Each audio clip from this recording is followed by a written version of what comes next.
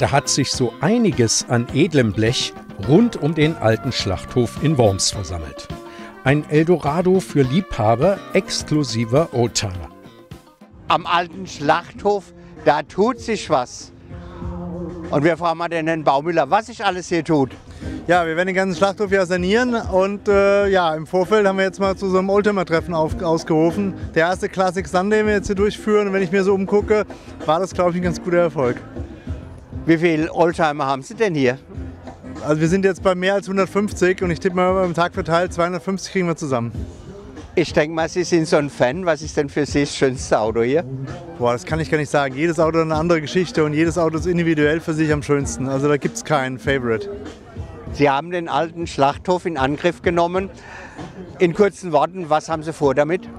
In kurzen Worten heißt, wir werden hier zwei Restaurants reinbringen, wir werden hier Event-Locations haben, wir werden Seminarräume haben, wir werden auch ein paar Oldtimer haben, selbstverständlich, und ein paar Shops, die zu uns passen. Heimat für Geschmack ist das Oberthema und da werden entsprechend, wird das alles zusammenpassen. Das heißt, eine Menge Events für Worms. Auf jeden Fall. Dann wünsche ich Ihnen da viel Erfolg und viel Glück dazu.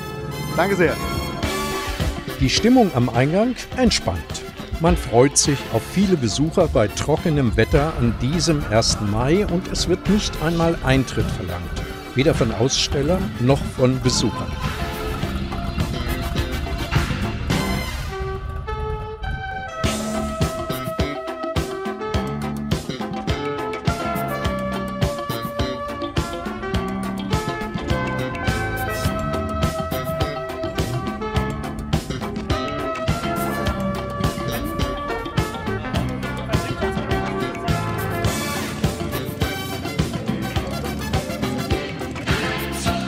Alte Autos gucken macht hungrig. Da schauen wir uns doch gleich mal genauer an, wie es um das Catering bestellt ist.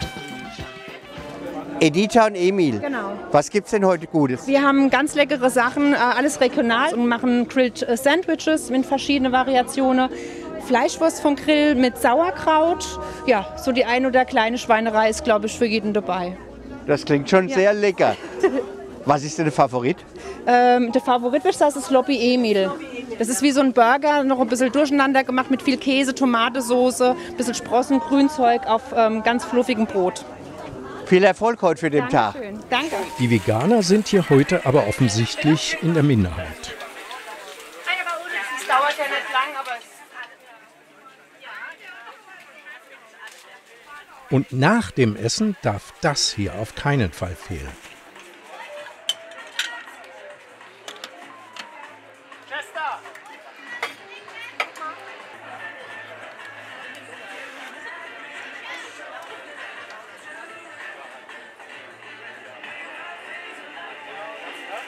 Piero Negro, die Kaffeespezialität hier in Worms. Was bieten Sie denn heute alles an? Äh, wir bieten heute Americano, also ein verlängerter Espresso als Kaffee an, Cappuccino und natürlich auch Espresso. Welche Bohnensorten oder was nehmen Sie da dazu?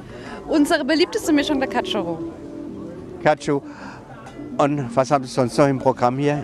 Äh, wir haben noch Kaffee dabei, falls noch jemand was mitnehmen möchte. Also wir haben so unsere Grundsorten, sagen wir, die, die, die Top 5 dabei, was am gängigsten bei uns geht in allen beiden Filialen. Und ähm, da kann man auch mal ein bisschen was mitnehmen zum Probieren.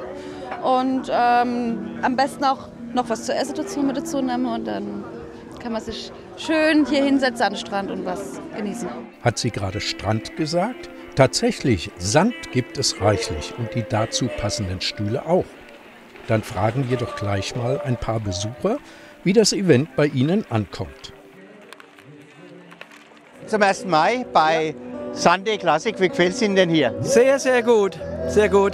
Ich gehe öfters in andere Oldtimer-Veranstaltungen. Ich habe auch selbst einen Oldtimer, bin auch mit ihm da. Muss also sagen, nicht so viel erwartet, dass so viel los ist. Sehr, sehr gut.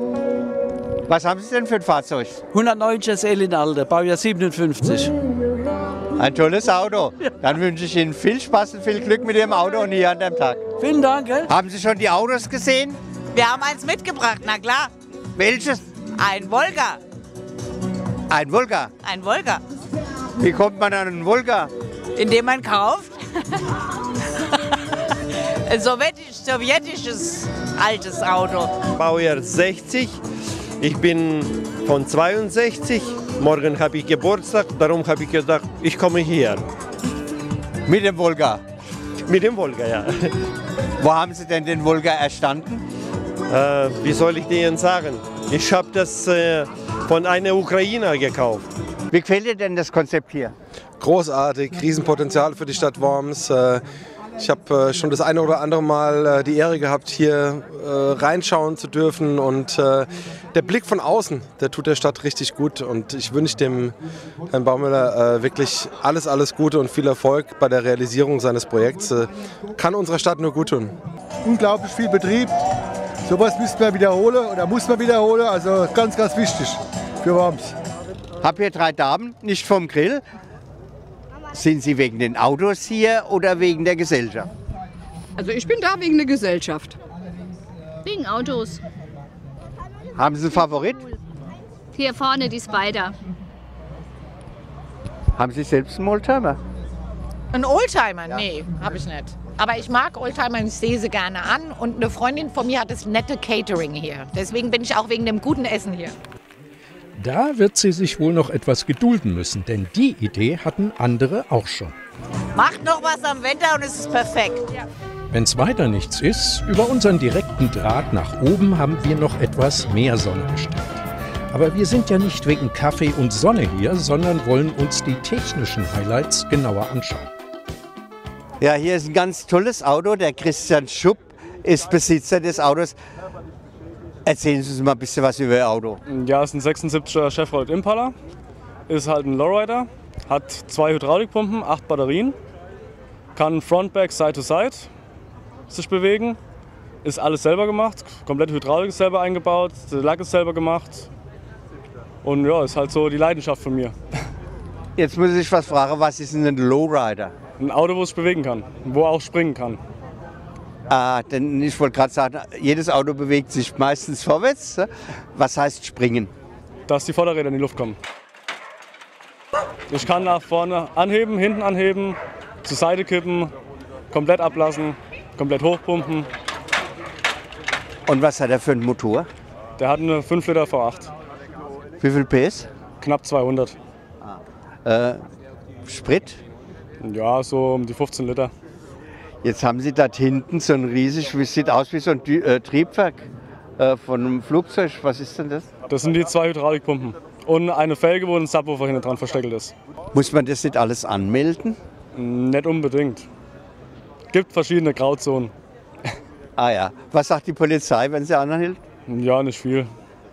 Die wollen halt meistens nur gucken und sind begeistert.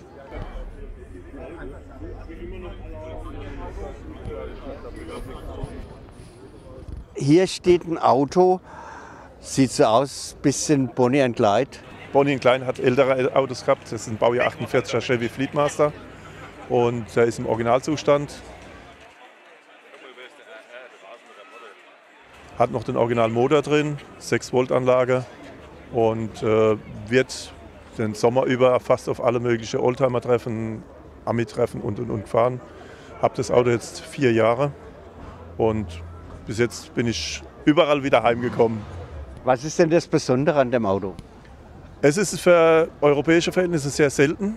Ich wüsste jetzt im Moment nur von drei Fahrzeugen, die hier im europäischen oder im deutschen Raum sind. In der Art und Weise, wie jetzt meiner ist, ist so im Mexican-Style, wie drüben in Kalifornien die Lowrider-Szene fährt.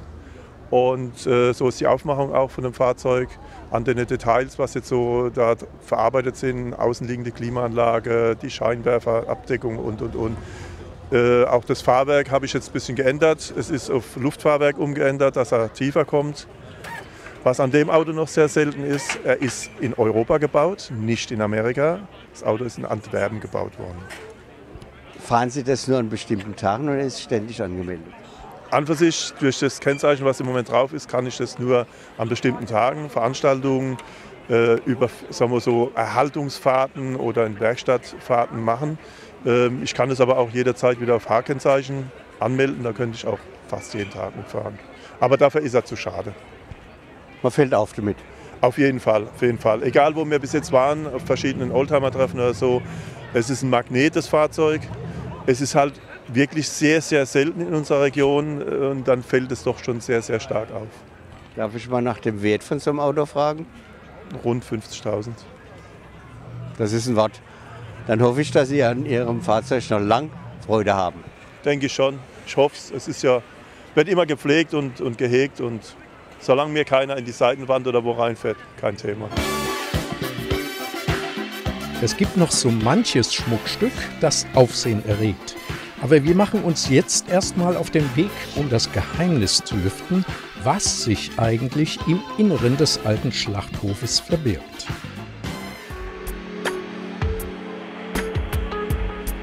Nun gut, Schweinehälften hängen hier nicht mehr herum, seitdem der Schlachthof Anfang der 80er zunächst stillgelegt und später in eine Markthalle umgebaut wurde.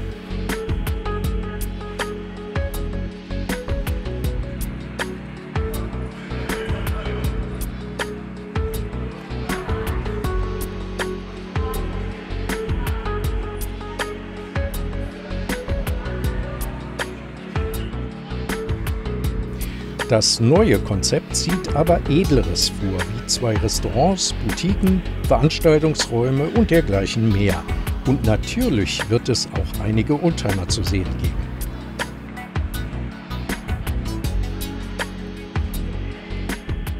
Wie gefällt es euch denn? Ja, super. Ganz tolle Autos sind hier. Hätte ich gar nicht erwartet, so viele verschiedene Modelle zu sehen. Finde ich richtig gut. Und gut, die Musik, Und ganz die tolle Location Musik. wird richtig Ja, toll. Wird toll. Sehr schön hier. Ganz toll. Wir sind Maja? sehr zufrieden. Bist du zufrieden mit deinem Eis? Ja. Dann wünsche ich euch noch viel Spaß hier. Danke, danke. Die gegenüberliegende Ernst-Ludwig-Schule blickt jedenfalls gespannt auf die alte Markthalle in Erwartung des regen Treibens, welches demnächst dort ins Haus steht.